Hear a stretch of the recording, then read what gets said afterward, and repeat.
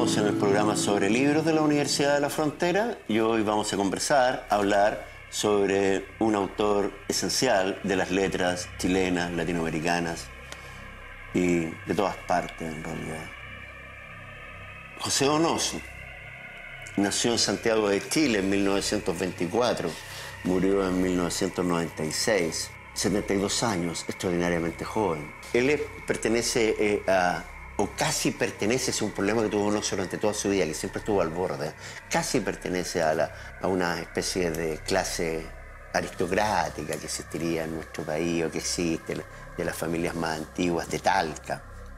Eh, estudió en el Grange School en Santiago, un colegio excelente, y allí fue compañero de uno de sus, eh, ¿cómo se podría decir? Compañeros de la vida en realidad, que transitaron juntos por las letras, el arte y la cultura, y que es Carlos Fuentes, pertenecieron posteriormente al mismo movimiento literario, el boom latinoamericano. Su primera obra eh, las publicó cuando viajó a Estados Unidos. Eh, él tuvo un fuerte vínculo con las universidades norteamericanas, con la Universidad de Princeton, la Universidad de Iowa. En Princeton escribió sus primeros relatos, algunos ensayos, eh, y sus primeros cuentos aparecieron en Santiago en, los años 50, Veraneo y otros cuentos. Ahí hay un relato extraordinario, Ana María. Eh, el, cuento de una niña eh, que, de una ninfa, de una ninfula, que es este personaje inquietante que ocurre en la literatura, ¿ah? que son muy complejos y, que, se, que establece una relación con un, con un viejo. Em, con un obrero. cuento extraordinario. Eh, después de eso, ya en 1957 aparece Coronación, su primera novela. Hay una película de Silvio Cayosi. Silvio Cayosi ha visitado con regularidad la obra de Donoso y ahí le vemos unas películas excelentes basadas en su obra, La Luna en el Espejo, que fue muy premiada. Eh, una película que le encantó a Fellini, a Federico Fellini. En Coronación ya aparecen las inquietudes de, Donoso, sus obsesiones. Todos los autores tienen obsesiones, una forma pituca así lo decimos nosotros. Estas son sus obsesiones, son sus temas, sus temáticas, lo que importa. ¿ah? No hay más de cuatro para cada autor, sostiene Borges. Para él, en la historia, para Borges, es la historia de una búsqueda, la historia de una ciudad que defiende nombres valientes. ¿Ah? Qué bonito. ¿ah? Eh, la historia de una búsqueda, ¿ah? la búsqueda de Ulises, que en el mar eh, trata de encontrar una isla y una mujer amada. ¿ah? Todos los hombres somos en algún sentido Ulises. ¿ah? ¿Cuáles son las obsesiones de Donoso? Rarísimas. La vejez, la demencia, el transvestismo, una fuerte componente de la sexualidad. La inversión del mundo a partir del travestismo. ¿Por qué? Porque José Donoso era homosexual. Por desgracia, en la época que serlo era delito. Así de loco esta sociedad. Nunca se olviden de ello. Era delito, estaba en el Código Penal. ¿ah?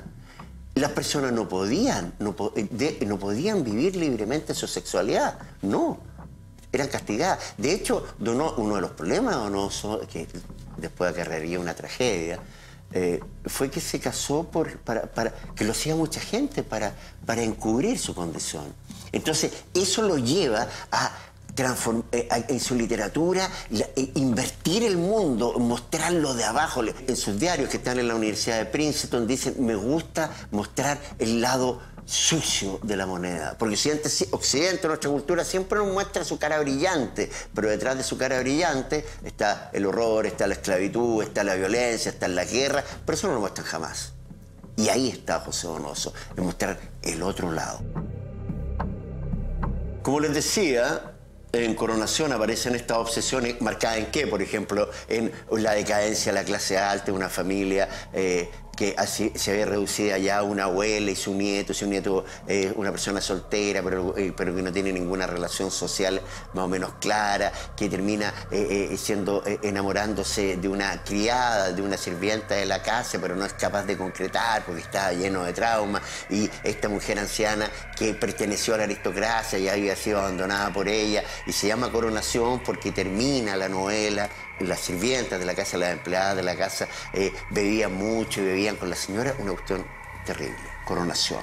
texto que inmediatamente logró el reconocimiento, en, tanto en Chile como en algunos países de Latinoamérica. Eso le permitió a Donoso eh, ser contratado por la Universidad de Iowa, con la que siempre tuvo un fuerte vínculo, una universidad norteamericana eh, que tiene una, una pasión por la literatura. Grandes escritores han estado ahí. Eh, tienen una cuestión que se llama el Workshop, que escritores latinoamericanos y de todas partes del mundo. Yo he estado en esa universidad, he estado cuando estuve, estuve tomando un café con escritores armenios, polacos, chilenos, chinos. una cuestión maravillosa. Y Donoso regularmente visitaba la Universidad de Iowa y dictó clases allá. Eh, estuvo, fue la primera vez que estuvo en Iowa y allá empezó a desarrollar su carrera como escritor, ya decidió ser escritor, eh, aparecieron otras obras hasta que, y, dentro de ella aparece el boom latinoamericano, eh, el que se, se, inserta Donoso gracias a Coronación, ¿ah? donde está ese fenómeno literario de los 60 que hemos hablado en este programa. ¿ah? Y ya en 1967, por influencia de los autores del boom, entre ellos Carlos Fuentes, como le, nombraba, José Donoso vivió en la casa de Carlos Fuentes en México, en, una casita que había detrás en el patio, y allí escribió esta novela extraordinaria, que es El lugar sin límites, en 1967. Extraordinaria. Allí ya se desata esto que ha sido llamado, para que vean el gran escritor que es el mundo donosiano. La Manuela despierta en la mañana, eh, se pone un chal, dice, ay, que estoy friolenta, eh, sale al patio, eh, hay, una gallina en el patio, un, un patio de tierra, enciende el carbón, escucha llorar una mujer y piensa la Nelly, disculpen las palabras, pero sí dice la novela, la Nelly, prostituta triste, llora todas las mañanas es que anoche un guaso se iba a quedar con ella, pero salió, salió a vomitar y no volvió más. Así empieza la novela, estamos en la página 1. Después la novela, la, Manuela calienta el, prende el carbón, eh, va a la cocina, calienta eh, el agua eh, para tomar desayuno, sirve té, hace una tostada, calienta un pan y va a una habitación del prostíbulo, golpea la puerta y allí está su hija, que era la regente del prostíbulo, y la Manuela le dice, te traje el desayuno japonesita, y la japonesita le dice, ya me despertó temprano papá. Y ahí uno entiende que la Manuela es la travesti del prostíbulo de campo. Eh, cerca de Talca, eh, está cerca de Talca, hay, hay, un hacendado millonario que quiere arar el, pueblo, y que un pequeño pueblo, el Olivo, que recuerda a Comala, de esa gran novela de Rulfo. Y ahí transcurre esta novela terrible, pero una cuestión maravillosa. Y ahí está el gran autor, la Manuela, a pesar de su vida triste, a pesar que es golpeada por los machitos del lugar, siempre así, ¿ah? ¿Ah? que es violentada. La Manuela es una artista y la Manuela canta una de las grandes novelas cortas, porque es cortito El lugar sin límites, que se han escrito en Latinoamérica. Bueno, ahí con El lugar sin límites se inscribe propiamente en el boom, recibe el reconocimiento de sus padres, de García Márquez, de Carlos Fuentes, de Vargas Llosa. Esto es muy chistoso, ¿ah? nos falta, porque Donoso, como le digo, siempre está en el límite, nos falta lo que les niegan ya casi nadie a Donoso la pertenencia al boom. Lo extraordinario es que los autores del boom, Julio Cortázar, Gabriel García Márquez, Carlos Fuentes y Mario Vargas Llosa, lo reconocían como tal. No sé con qué compararlo, pero es increíble. Y así, eh, eh, ya eh, se va a vivir a España, donde vivían todos los autores del boom, a Barcelona, cerca de Barcelona, en Sitges, un balneario, y allí empieza a desarrollar una de sus obras magnas, que es El obsceno pájaro de la noche.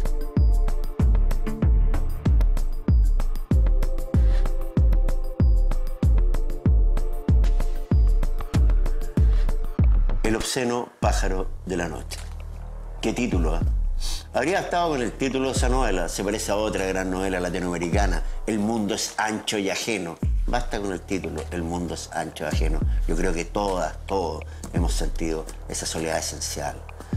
Sentirnos ajenos en el mundo. El obsceno pájaro de la noche es una novela donde ya cristalizan y se desarrolla y una verdadera explosión de este mundo océano junto a ello con una gran técnica narrativa, porque Donosio era un obsesionado. Entonces estaba obsesionado con el boom, porque como le negaban la pertenencia al boom, él preparó esta novela, escribió esta novela pensando en las demás novelas del boom y dialoga con ellas y toma, y toma las, las temáticas, las obsesiones, las propias del boom latinoamericano. Entre ellas una cuestión esencial, desde el punto de vista técnico, porque técnicamente eh, la literatura, el gran arte, técnicamente es maravilloso. Piensen ustedes en una pintura de Leonardo da Vinci.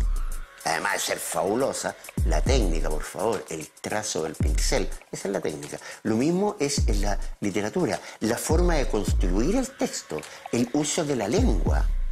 Una vez Nicanor Parra me dijo, eh, íbamos a, su casa en la costa y pasamos por Pomaire, eh, donde hacen cacharritos de greda. Y dijo, me dijo, yo soy igual que esta vieja, hago cacharritos de greda, pero mi greda son las palabras. Los poemas son cacharritos de, palabras. Qué lindo. ¿eh? Donoso, con esa conciencia del lenguaje, construye este texto maravilloso extraordinario que es el Observatorio de la Noche, donde qué es lo que hace la correspondencia con el boom, que fue la gran empresa del boom, la destitución del narrador omnisciente. ¿Por qué? Porque si hay un narrador omnisciente que todo lo sabe, es una especie de dios del relato. Entonces castiga a los que se portan mal, premia a los que se portan bien y controla totalmente el texto. ¿Qué hacen los grandes autores? Sacan ese narrador y hablan todos. Pero Donoso llega al límite, o sea, supera el límite, ¿y qué hace? El narrador que tiene la voz de la novela hasta la mitad de ella, que es eh, el mudito, Humberto Peñalosa, el personaje, alias el mudito, arranca de la novela, sale corriendo. Literalmente dice, no quiero tener el poder, lo dice, no quiero tener el poder. Y sale, y sale corriendo, se arranca.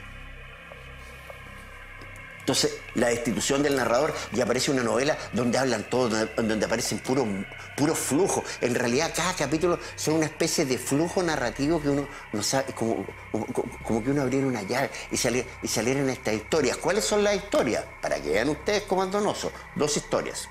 Hay dos mundos en Observar la Noche. Uno que es eh, la Casa de Ejercicios Espirituales de la Chimba de nuevo la esta obsesión por la, la, aristocracia, que era una casa de ejercicios espirituales que está en el barrio de La Chimba, en Santiago, cruzado, cruzando el río Mapocho. De hecho, en los, manuscritos de Donoso yo encontré, ahí está dibujada la casa, está dibujada las calles, está la, calle Maruria, calle de la literatura, donde están los crepúsculos de Neruda en Crepusculario, ¿ah? la calle Maruri, la calle Vivaceta, y ahí Donoso sitúa su casa de ejercicios espirituales, que había sido muy famosa, dice, iban ministros, presidentes, hacer retiros espirituales, pero ya estaba en decadencia y ahora es, está convertido en un asilo para una una serie de viejas locas, pero absolutamente locas, pero además brujas, y hay otra cuestión extraordinaria en Donoso, que toma del boom, que es la brujería y la magia, y, están estas viejas locas que, son, que, además son medias brujas, medias meicas, y también habían llegado, nadie sabe por qué, unas huerfanitas, una huerfanita, una de cuyas huerfanitas termina siendo huérfana ya de 14, 15 años, una cuestión espantosa, termina siendo eh, eh, explotada sexualmente por estas viejas porque no tenían... Un mundo espantoso. Y ahí llega el mudito, Humberto Peñalosa, este narrador inicial del relato, que también es una bruja, dice yo soy la séptima bruja. Y junto a esa casa de ejercicios espirituales, esa locura, está el Fondo de la Rinconada. ¿Cuál es el vínculo? El vínculo es que la casa pertenece a Jerónimo Ascoitía, un eh, oligarca, un miembro de, la, alta burguesía, un millonario, y con, con, dice, con grandes minerías, eh, eh, grandes minas en el norte y con extensos campos en el sur. ¿ah? Y, Jerónimo de es propietario de, este, de, esta casa de ejercicios que le viene desde el siglo XVII de su familia que la ha heredado. Y Jerónimo de se casa con una con Inés de Ascoitía y, tienen un hijo. Y ese hijo es un monstruo, Boy. Y ese monstruo era tan, tan, espantosamente deforme que Jerónimo Escotilla piensa dejarlo morir, porque es un monstruo.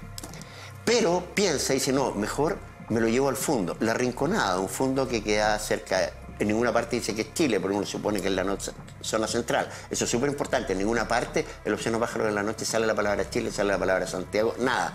Eh, es la invención de un mundo, muy propio del boom, Macondo, Comala, etc. Y se lleva al niño al fondo, construye una gran pared que lo cerca, contrata a Humberto Peñalosa y así el vínculo, y este es el mudito que termina escondido en la casa de ejercicios espirituales, para que vaya por el mundo a comprar monstruos, a llevárselo a vivir a la rinconada, manda, le dice al mudito que construya, que mande a construir estatuas con personas deformes para que Boy crezca, su hijo, crezca en este mundo monstruoso y piense que la monstruosidad es la norma. Entonces en la casa, eh, eh, en, la rinconada, había una mujer que tenía cola de lagarto, un hombre que era inmenso, que tenía unos enormes músculos, pero la cabeza del porte de un puño, el doctor que había tenido un solo hijo, perdón, un solo ojo en la frente, y la reina el lugar es una prima lejana a Ascoitía, que era una enana que tenía dedos como tornillos, eh, orejas de bulldog. En ese mundo, es el mundo donostiano. Es, ahí transcurre esta novela extraordinaria y cuyo centro es una bruja. Luego de esta obra magna que publica en 1970, ¿y por qué la publicó en 1970? Porque marca el fin del boom, como les digo, obsesionado con el boom, el fin del boom latinoamericano. El boom empieza con Rayuela, de Julio Cortázar y termina con Los Bájaros de la Noche. Después vendrán los años 70, ahí publicará a mediados de los 70, 1976, publica Casa de Campo, una alegoría de la dictadura chilena pero a, lo donoso, es decir, una transformación y, nuevamente aparece la aristocracia, una familia que tenía un campo eh, en un valle, no nombra Chile tampoco, pero se supone que es Chile, y en ese valle que está en la zona central de un país, de, un, país estaban las montañas azules y ahí está la inmensa hacienda de eh, eh, Marulanda se llama la, hacienda de los protagonistas y, termina siendo controlada por los sirvientes. Una cuestión extraordinaria, Casa de Campo. Extraordinaria. La novela más difícil de Donoso, de muy difícil lectura, pero fantástica, eh, bellísima. Eh, después vendrán otras obras, eh, Muerta con Cachimba, Taratuta, me gustan mucho los títulos, es raro. La desesperanza, que es el regreso de un escritor a Chile después de la dictadura, esto es súper interesante. Yo he estado, afortunadamente, eh, algunos proyectos de investigación me han, financiado esta idea eh, en, los manuscritos donosianos. La mitad está en Iowa, la otra mitad está en, Princeton. En Iowa está de 1956 a, 1960, a 1965 y en, en Princeton de 1965 hasta... Eh, 1978 más o menos. Eh, algunos hablan de los diarios donosianos, no son diarios, no, no, no, son papers en, el sentido estricto, la palabra en inglés lo dice muy bien, son apuntes de un escritor donde además de estar su, está su, su, novela, él escribía en los diarios. Escribía en sus diarios, e, escena para el océano pájaro, esto lo voy a poner en lugar sin límite, y, los rayaba, y junto a ello escribía en sus máquinas de escribir del Océano Pájaro de la Noche, los manuscritos son de este alto. ¿ah? Y eso quedó convertido en una novela así. Y son maravillosos. Y en esos diarios, en esos diarios, los que están en Princeton, dice 10 de septiembre de 1973, no dice nada. 11 de septiembre de 1973, no dice nada. Él no en Chile nada. Y yo decía, pero ¿cómo no va a decir nada? Si acá hay un momento que bombardean la moneda, la tragedia nacional, si es nuestra tragedia, si nosotros estamos, en este país estamos fritos. Hay una pregunta, hay una pregunta en otra gran novela del boom. ¿Cuándo se jodió el Perú? Se pregunta Zabalita en, conversación en la catedral. Y, toda la novela investiga cuando se. Hay una reflexión sobre el momento en que Perú se jode. Uno pregunta cuándo se jodió Chile el día que bombardeamos la moneda. Es un país que bombardea su, su mayor símbolo eso, eso, eso hay que pensarlo. Entonces yo decía, Donoso, Donoso ¿por, qué? ¿por qué Donoso no dice nada? Y por ahí, por el 30 de septiembre, dice, esto es una tragedia, esto es un desastre. Al ladito, ¿ah? y ni siquiera dice de lo que está hablando. Y desde ahí vendrá Casa de Campo, esa novela extraordinaria. Y como les digo, eh, eh, eh, y también la desesperanza ¿ah? de este escritor que regresa a Chile sin esperanza. La desesperanza. En 1996 nos deja José Donoso como le decía, muy joven, quizás por, porque él sentía la literatura era una cuestión visceral. El obsceno pájaro de la noche le costó una crisis esquizofrénica.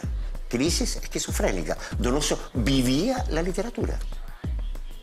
Su hija Pilar cuenta que los personajes de sus libros, ¿ah? en donde van a morir los elefantes, por ejemplo, ellos, la Ruby le faltaba poco menos que, la Ruby, la protagonista Ruby, le faltaba poco menos que invitarla a almorzar porque sabían cómo se vestía, cómo vivía, vivía en un mundo literario. Y eso también fue terrible, ¿ah? porque le costó separarse mucho de su familia, especialmente de su hija, eh, que murió, terminó ella misma con su vida. Eh, Pilar Donoso, una autora extraordinaria.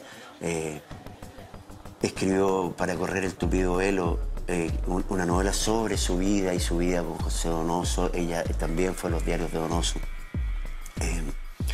y esta es una frase que Donoso usa en, en, Casa de Campo, que dice que la aristocracia corría un tupido velo sobre las cosas que no le gustaban. La élite chilena.